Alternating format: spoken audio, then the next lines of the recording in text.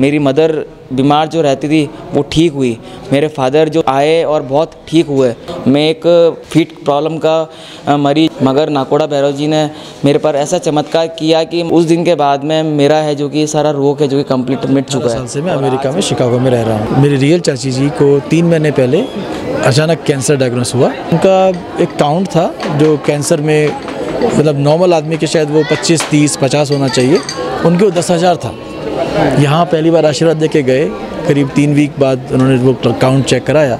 तो छः सौ के आसपास तक बहुत ही ड्रास्टिक कम हो गया। क्योंकि भैरव बाबा के आशीर्वाद से जब ऐसी बीमारियाँ कैंसर जैसी बीमारी का इलाज हो सकता है।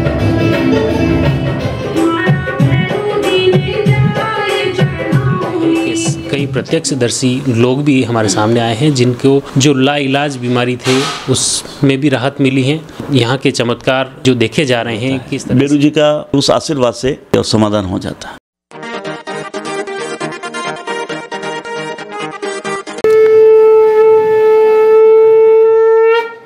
जय काल भैरव। मैं हूँ लक्ष्मण सिंह राठौड़ और आप देख रहे हैं जयवर्धन न्यूज़। आज हम पहुँचे हैं अजमेर ज़िले की टोटगढ़ में। जहाँ पर काल भैरव का एक भव्य मंदिर है और वहाँ के चमत्कार आज अजमेर या राजसमंद ज़िले ही नहीं, बल्कि राजस्थान और अन्य प्रदेश के लोग भी प्रत्यक्ष रूप से रूप से देख रहे हैं। ऐसे कई प्रमाण सामने आए हैं कि कई प्रत्यक्षदर्शी लोग भी हमारे सामने आए हैं, जिनको यहाँ पर मंदिर में आने के बाद में जो लाइलाज बीमारी, आखिर ये जो मंदिर किस जगह स्थित है, इसका क्या इतिहास है इसको लेकर जानते हैं हमारे साथ में है टोटगढ़ में काल भैरव धाम के मुख्य उपासक विद्या प्रकाश जी पडियार। आपका सबसे पहले हमारे जयवर्धन न्यूज़ में स्वागत है। नमस्कार। एक सबसे पहले भैरव धाम का जो यहाँ पर ये मंदिर कब से हैं और इनका क्या इतिहास है मंदिर? ये मंदिर टोटगढ़ में करीब साढ़े चार सौ वर्ष पूर्व का ये इतिहास है और इस मंदिर पर समस्त जाति जिन्होंने श्री बेरू जी महाराज के नाम से जो जनेऊ यानी गोल पहन रखी है और साढ़े चार सौ वर्ष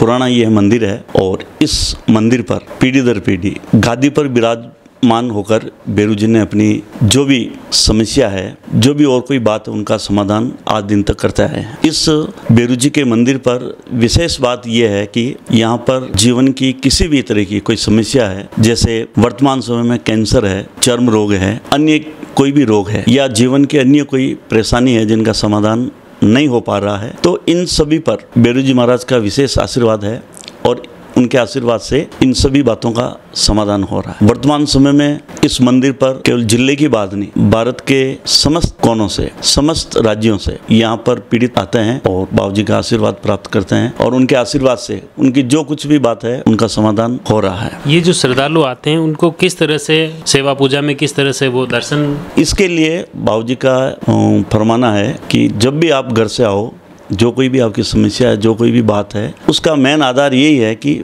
पाँच मुट्ठी गेहूँ, उसको एक लाल या सफ़ेद कपड़े में पाँच मुट्ठी लेके पूरे घर में घुमाकर अपना जो भी देवता का स्थान है, पूजा पाठ का स्थान है, वहाँ पर रखकर आप पूजा पाठ करो। और जब भी आओ तो अपने इष्ट देवता से विनती करके आओ कि मैं बेरू जी के दरबार में जा रहा हूँ। और ये बात है, जिस समय बेरू जी महाराज इस मुट्ठी की बात करे, इस समस्या की बात करें, उस समय आपको प्रत्यक्ष रूप से बेरू जी महाराज के समक्ष होकर इसका समाधान इसका आशीर्वाद हमको प्राप्त करें। ऐसी कि जिस परिवार से जिस घर से जिस भक्त के घर से ये अनाज की मुट्ठी आती है वहाँ के इष्ट देवता साथ में आते हैं। उन इष्ट देवता को साक्षी मानकर उनके आधार पर जो कुछ भी बात होती है उनका समाधान बाबूजी करते हैं। टोटगढ़ हैं मुख्य रूप से अजमेर राजसमंद या आसपास के जिलों के जो भी मुख्य मार्ग हैं कहाँ कहाँ से श्रद्धालु सुगम तरीके से आ सकते हैं वो थोड़ा सा अगर आप बताएँ। ये वैसे अजमेर ज़िले के लास्ट ग्राम पंचायत है। इससे पाली, राजसमंद और बिलवाड़ा डिस्ट्रिक्ट के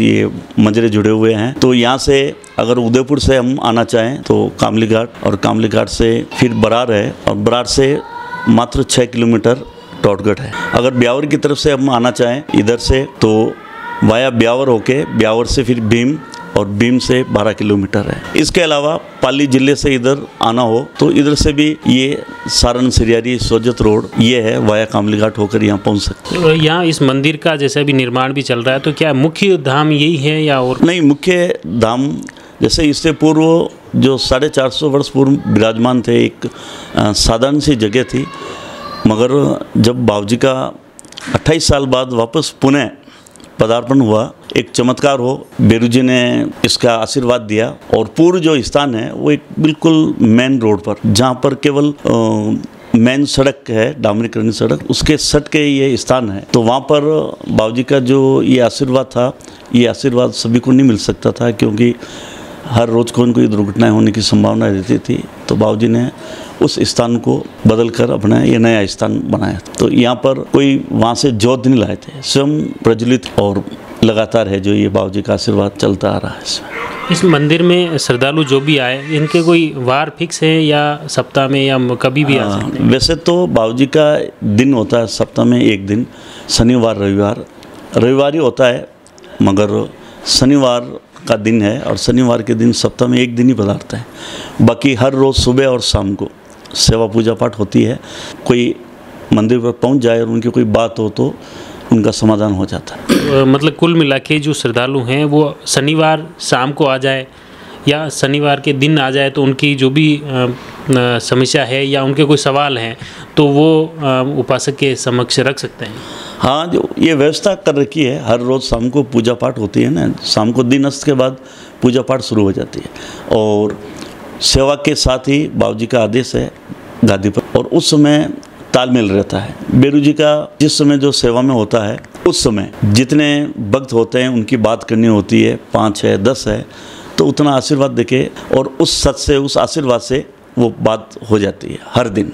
तो शाम को सेवा के बाद, हर रोज दिन अस्त के बाद ये सेवा होती है और सेवा के बाद ये बातचीत हो जाती है और समाधान हो जाता है। मेरी पहले फैमिली इकोनॉमिक बहुत अच्छी थी। बीच में फैमिली इकोनॉमिक बहुत कम होने के कारण फिर बाप जी के यहाँ पर आया मैं। मदर बीमार रहने लग गई, फादर बीमार रहने लग गए तो फिर यहाँ पर पूछने के लिए बाप के पास में आए। मेरी मदर बीमार जो रहती थी, वो ठीक हुई। मेरे फादर जो सेवा करते थे, जो ब्यावर के बहुत बड़े हलवाई हैं, जिनकी अभी रिसेंटली में डेथ हो गई, वो यहाँ पर आए और बहुत ठीक हुए। उसके बाद मेरी इकोनॉमिक जब पहले डाउन हुई तो उसके बाद मेरी इकोनॉमिक बहुत वापस से रनिंग में बहुत अच्छी हो गई। मैं एक फिट प्रॉब्लम का मरीज़ हूँ। मेरी पहले भी बीमारी होने के कारण मैं कहीं आगे नहीं जा सकता था। मगर नाकोड़ा भैरव जी ने मेरे पर ऐसा चमत्कार किया कि मतलब कि और उसके बाद में बोला, जब भी आप यहाँ आओ, मंदिर पे है जो कि उल्टी तीन परिक्रमा करो, जिससे आपका है जो कि सारा रोग मिट जाएगा। और उस दिन के बाद में मेरा है जो कि सारा रोग है जो कि कंप्लीट मिट चुका है। और आज मैं मेरे जीवन के अंदर बहुत सुखी हूँ मैं, और मेरा परिवार बहुत सुखी है। जैसा आप काल भैरव धाम पर यहाँ की जो आस्था और विश्वास से जो श्रद्धालुओं को रिलीफ मिल रहा है, लाइलाज बीमारियों के इसी सिलसिले में हमारे साथ में एक श्रद्धालु हैं। मूलतः वो जयपुर के हैं लेकिन पिछले दो दशक से अमेरिका में निवासरत हैं। आज टोटगढ़ में भैरव धाम पर आए हैं और सबसे पहले अपना परिचय दीजिए आपका क्या नाम है? मेरा नाम है पीयूष खंडेलवाल। मैं जयपुर का प्रॉपर निवासी हूँ और अभी- पिछले- पिछले 18 साल से मैं अमेरिका में शिकागो में रह रहा हूँ। इस भैरव धाम के बारे में आपको सबसे पहले कैसे पता चला और फिर यहाँ कैसे आना? मेरी रियल चाची जी को तीन महीने पहले अचानक कैंसर डायग्नोस हुआ। शायद सेकंड या थर्ड स्टेज का कैंसर था। तो उसके बाद उनका इलाज चला। मेडिकल जो होता है एलोपैथी इलाज, उनके किसी जानकार ने बोला कि भैरव धाम में यहाँ पर जो है, भैरव बाबा के आशीर्वाद से लोगों को फ़ायदा होता तो मेरे भैया और मेरे चाचा जी जो हैं, चाची जी को लेके दो महीने पहले पहली बार यहाँ आए थे। यहाँ आशीर्वाद लिया। कोई उनका एक काउंट था जो कैंसर में मतलब नॉर्मल आदमी के शायद वो 25 30 50 होना चाहिए। उनके दस हज़ार था। यहाँ पहली बार आशीर्वाद दे के गए। करीब तीन वीक बाद उन्होंने वो काउंट चेक कराया। तो वो 600 के आसपास था। बहुत ही ड्रास्टिक कम हो गया। और विश्वास के साथ, खुशी के साथ फिर वो अभी वो जैसे बाबा बोलते हैं ना, तीन वीक में आओ या पाँच वीक में आओ, उस तरह से वो दो वीक पहले आके दोबारा गए थे यहाँ से।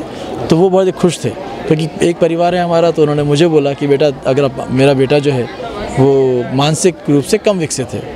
एक बीमारी होती है ऑटिज्म मेरा चाइल्ड जो है वो ऑटिस्टिक स्पेक्ट्रम डिसऑर्डर का है डायग्नोस हुआ है उसको। तो उसमें मस्तिष्क कम काम करता है तो पूरी बॉडी कम काम करती है हाथ पाँव भी कम काम करते हैं। तो बोला कि भैरव बाबा के आशीर्वाद से जब ऐसी बीमारियाँ कैंसर जैसी बीमारी का इलाज हो सकता है तो फिर आशीर्वाद शायद मेरे को भी मेरे बच्चे को भी मिल जाए। तो उसी आशा के साथ में आज पहली बार अपने बच्चे को लेकर के और भैरव बाबा के आशीर्वाद के लिए आया हूँ। क्या नाम है बच्चे का और क्या एज है लगभग? मेरा बेटा है उसका नाम आयुष खंडेलवाल है। और वो भी 18 साल और तीन चार महीने। इसके इलाज के लिए आप पहले कहीं हॉस्पिटल वगैरह में? हाँ जब से उसको डायग्नोस हुआ चार पाँच साल का जब वो था तब से डायग्नोस हुआ कि उसको ऑटिस्टिक स्पेक्ट्रम डिसऑर्डर है। लेकिन मेडिकल एलोपैथी में कोई इसका इलाज नहीं है जो सीधा इसका रूट कॉज ही भी मालूम नहीं चला अभी तक। तो इसलिए इलाज भी नहीं हो पाता है लेकिन जो सिम्टम्स होते हैं उनको सप्रेस करने के लिए डॉक्टर्स बहुत तरह की दवाइयाँ ट्राई करते हैं। ये आप ये दवाई ले लो तीन महीने बाद देखा कि उस दवाई से एक फ़ायदा हुआ और दो नुकसान हो गए तो बंद कर दो फिर दूसरी दवाई लेना शुरू करो तीसरी दवाई लेना शुरू करो। प्रयोग ही हो रहे हैं। तो अभी पूरे वर्ल्ड में प्रयोग ही हो रहे हैं कुछ बच्चों को इससे फ़ायदा होता है कुछ को नहीं होता। है तो मेरे बच्चों को फ़ायदा कम हुआ नुकसान ज़्यादा हुआ तो सब दवाइयाँ बंद कर दी। फिर केवल थेरेपीज़ होती हैं अप्लाइड बिहेवियर थेरेपी होती है ऑक्यूपेशनल थेरेपी फ़िज़िकल थेरेपी इन थेरेपीज से बच्चे को अभ्यास कराते हैं कि वो जितना काम खुद कर सके उतना कर पाए। भैरव यहाँ जैसे अभी आए हैं आप फ़र्स्ट बार ही आए हैं भैरव जी बाबू जी के प्रति क्या आस्था लगी क्या मुझे तो यही लगा कि आ, शायद भैरव बाबा के यहीं मुझे आना है और आना था। और मैं पूरी आशा रखता हूँ कि मेरा बच्चा ठीक हो जाएगा। क्योंकि मैं इससे पहले सब आपको पहले मैंने बताया था राइट कि जब आप दुखी होते हो तो आप भगवान के पास भी देखते हो और एलोपैथी में भी देखते हो, आयुर्वेद में भी देखते हो, हर जगह आप जाते हो बच्चे को लेकर के। तो मेरे बच्चे को लेकर के भगवान के भी और कई जगह भी गया हूँ मैं। भगवान जिस रूप में सुन ले, जहाँ सुन ले और जब सुन ले शायद भैरव बाबा को ही सुनना होगा इसलिए आज मैं यहाँ हूँ। करते हैं अमेरिका में आप? मैं वहाँ पे आईटी फ़ील्ड में हूँ अमेरिकन कंपनी में एम्प्लॉय हूँ। धन्यवाद। जैसा आपने सुना किस तरह से इनकी बच्चे के जो एक मानसिक रूप से बीमार बच्चे की इलाज की विश्वास को लेकर वो अमेरिका से यहाँ टोटगढ़ में आए हैं, भैरव धाम के दरबार में आए हैं, यहाँ दर्शन किया है और अब ये अपने बेटे की जो तकलीफ़ है, वो इस भैरव धाम के दरबार में लेकर आए हैं और उन्हें विश्वास है कि उनकी बेटे की जो बीमारी है, उस ठीक होगा और स्वस्थ होकर उन्हें बेटे को वे घर ले जाएँगे।